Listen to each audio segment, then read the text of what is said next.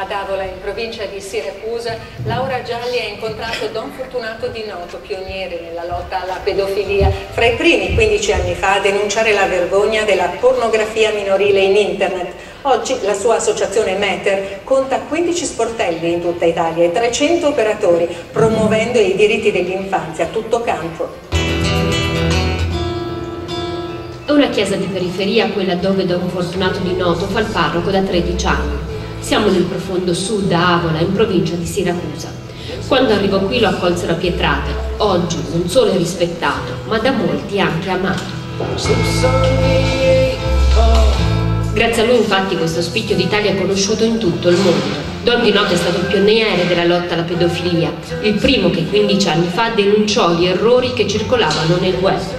La sua storia è stata raccontata da Newsweek nel 2001 e viene anche studiata in un'università di Pechino. Quando ci fu l'avvento della nuova tecnologia eh, ho visto per la prima volta le immagini pedopornografiche e allora dovevo fare una scelta, o occuparmi di bambini, iniziare a gridare per loro, dare una speranza, oppure voltarmi indietro e fare l'indifferente.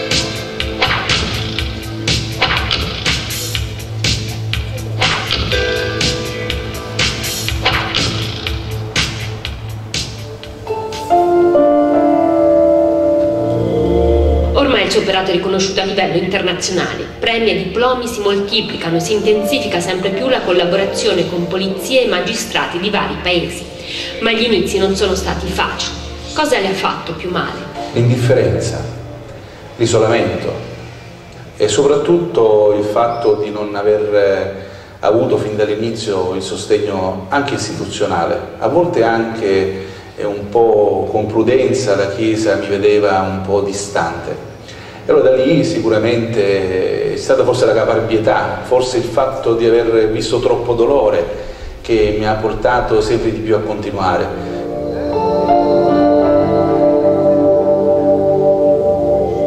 A convincerlo a non lasciar perdere sono stati i suoi collaboratori con i quali ha fondato Meter, l'associazione presente in Italia con 15 sportelli e oltre 300 operatori. Il suo obiettivo è promuovere i diritti per l'infanzia, centinaia le telefonate al numero verde, decine progetti finanziati, tra questi l'adozione di una scuola di periferia.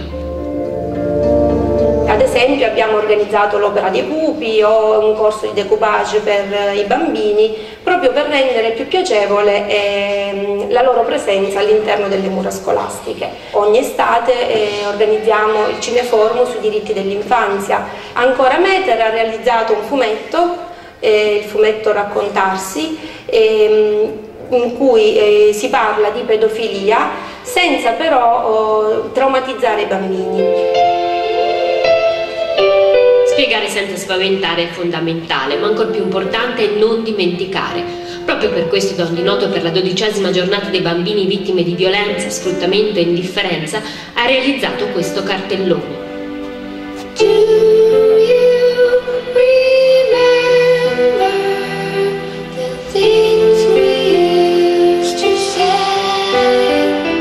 Ognuno di questi bimbi è stato stuprato, seviziato e infine ucciso.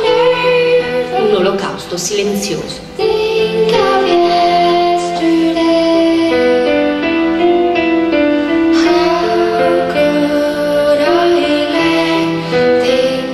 Sono 158 milioni nel mondo i minori violati.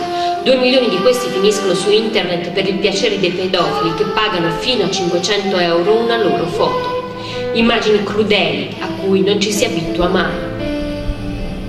Se non mi aggrappassi a Gesù Cristo, che mi dà la forza di poter dare eh, una voce, una speranza e anche a me una consolazione, ecco io credo che veramente impazzirei, perché di fronte al dolore, a questo tipo di dolore, a questo tipo di violenza, non c'è altro che impazzire, perché una persona tra virgolette normale non riuscirebbe mai a elaborare una così tanta violenza.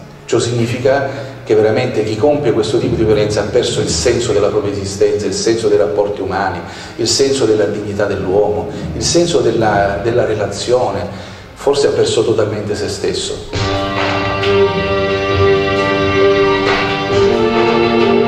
Creare una coscienza collettiva è indispensabile per sconfiggere questo orrore. In questi anni molto è stato fatto, le famiglie sono più consapevoli e le nostre leggi sono all'avanguardia. Ma bisogna mantenere alta l'attenzione monitorando la rete ricordando che la pedofilia è sempre comunque un reato Internet permette di individuare i responsabili, ormai oggi la Polizia Postale delle Comunicazioni in Italia, ma soprattutto anche a livello mondiale, chiunque divulga, detiene eh, eh, materiale è facilmente individuabile e ovviamente poi di con un giusto processo bisogna verificare le responsabilità penali. Dall'altra parte bisogna alzare il livello, c'è chi sono i produttori. Scoprire e punire colpevoli è fondamentale, ma altrettanto lo è recuperare le vittime. Un percorso lungo e difficile, ma possibile, come dimostra l'esperienza di Mary con i suoi 600 bambini salvati. Ricordo ancora oggi quella ragazza che bussiamo alla porta con le forze di polizia per individuarla, per dire ecco lei, questa è lei, mi apre la porta e mi dice ti aspettavo da 15 anni, oggi mi hai dato la libertà e la dignità di essere ancora una donna. Ecco, questo credo siano le cose più belle eh, che per la prima volta sto raccontando, perché non è facile raccontare con questi, questi segreti così belli, ma possono diventare un'occasione di poter dire ce la possiamo fare, è possibile.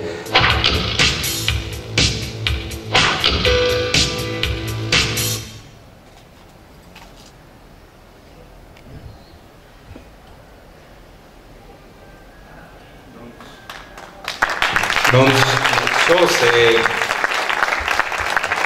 se volete ancora rimanere ad ascoltarmi perché credo che stasera vivremo un po' insieme una, un grande dono, quello della, di poter vivere grandi emozioni eh, con gli affetti, grandi riflessioni con eh, l'esperienza vostra personale, la vostra sensibilità, le vostre corde del cuore che possono, che possono sicuramente vibrare e cercare di andare oltre eh, quello che spesso leggiamo tra le righe dei giornali. Ecco, qui stiamo parlando veramente una, de, della vita e della vita degli uomini. Allora per questo è importante la comunicazione, la bellezza del comunicare, il senso delle parole, il senso delle vere parole che possono sicuramente arrivare al nostro cuore. Io non sono venuto qui, ve lo dico col cuore, come esperto, come tecnico, come... sono un semplice uomo, un cristiano, un prete, ecco, che eh, si è imbattuto nella propria storia personale e nel dolore dei bambini e soprattutto anche attraverso le nuove tecnologie, ne parleremo così in breve, poi alla fine farò vedere un bellissimo spot ehm, eh, che è una cosa molto bella, e ehm, anche di aiuto alle famiglie. E dall'altra parte eh, voglio solo raccontare un po' l'esperienza, quello che dirò è frutto dell'esperienza. Un uomo ha valore nella misura in cui racconta eh, ciò che vive, non ciò che legge soltanto. La lettura deve portarci a operare poi, a andare oltre. Allora la parola credo sia importante e fondamentale. Questa bellissima immagine che ha condotto anche un po' la Chiesa italiana nell'ultimo periodo, in aprile, per quanto riguarda la comunicazione. Ecco, l'atto creativo di Dio è un atto comunicativo. Non voglio fare qua proselitismo, ovviamente io sono un prete e un cristiano, credo in questo la mia identità e, e spero che possiamo rispettarci anche se c'è qualcuno qui che non crede, che ha un'altra visione della vita. Quello che ci deve accomunare è questa questa passione per l'uomo, dove che poi si snoda anche attraverso la fede per chi la può vivere, la incontra. L'atto creativo di Dio è un atto comunicativo e noi senza parola non possiamo vivere. Vi faccio solo un esempio, già da ora. Eh, immaginate eh, quando noi ci bisticciamo, no? quando noi ci, ci scorniamo, no? che cosa facciamo in famiglia? Ti tolgo la parola, non ti parlo più. E questa è la più grande punizione il non parlarsi più.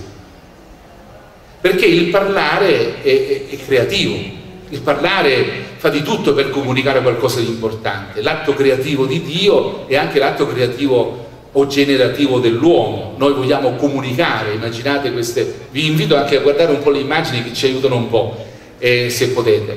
E anche questo che era una pubblicità del cordone ombelicale, della donazione del cordone ombelicale. In effetti è vero, è tutto ciò che comunicazione dà vita la parola dà vita. Eh, eh, immaginate quanto questo embrione, chiamiamolo embrione, grumulo di cellule, chiamatelo come volete, per me è un bambino, e, e, ha, quanti canali ha? Il suo cordone, il cordone che lo lega a una madre, il suo cordone il cordone che lo lega alla vita, il suo cordone il cordone che lo lega alla società. Una madre comunica non solo ciò che è, ma ciò che anche respira, ciò che anche vive, anche culturalmente parlando. Un bambino diventa tale nella misura in cui diventa persona nella misura in cui assorbe, vive tutto questo